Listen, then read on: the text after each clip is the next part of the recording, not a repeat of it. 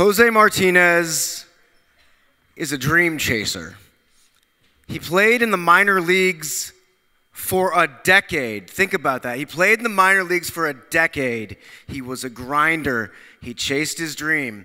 At age 28, he made his major league debut for the St. Louis Cardinals in 2016. Good job, Jose. But we're honoring him tonight because of last season. Jose hit 309 for your St. Louis Cardinals last year, 14 home runs in just 272 at bats. He chased his dream. He got his dream. Ladies and gentlemen, Jose Martinez.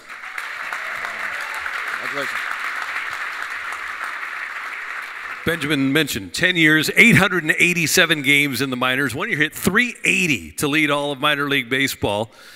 And uh, despite all of that, you didn't get to the major leagues until September of 2016. What made you stay at it? My mom.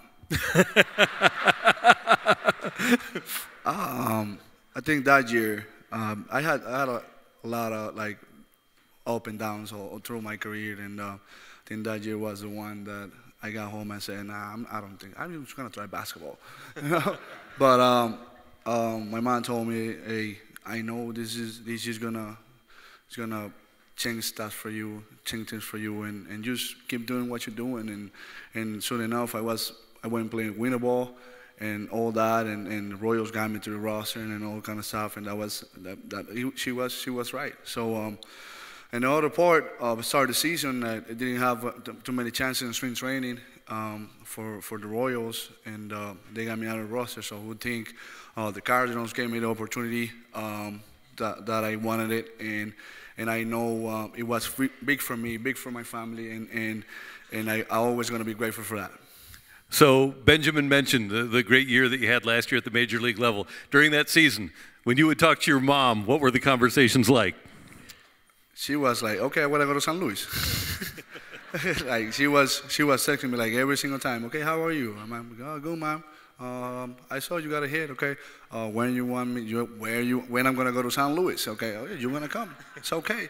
So, I mean, um, my mom. It's not only my mom. All my family. They was on top of my career, and um, it's only my son. Is I always remember, remember him, Venezuela, and all the stuff that was happening, and and it gave me a lot of like things to like work, like get better every day, you know, and, and that's that's the deal for me. I'm just show up to the field, trying to get better, listen to the veterans, Waino, Molina, and all that, and, and just trying to help the team win. That's all I do, and, and I show, show up every day, just trying to help the team win. Finally, Mike Matheny and, and John Mozeliak have talked this offseason about wanting to give you an opportunity, wanting to get you to the plate. How meaningful is that, that heading into 2018, you're going to have that opportunity? I mean, I think the one opportunity that I always gonna be um, is gonna be I, I have to I gotta I'm gonna have a uniform on. You know, I was out of baseball. I had nobody like knew where I was when I went to indie ball, and this opportunity, the opportunity that I had last year, is the best for me. So for me, just being a team, be uh, in this organization, be around the clubhouse, Yadi, and all those guys, these are all Hall of Famers, is the best. So I'm just going to take the opportunity. Whatever they need, whatever they need out of me, I'm just going to be there. Congratulations. Have a great year and a great career. Thank you, Jose.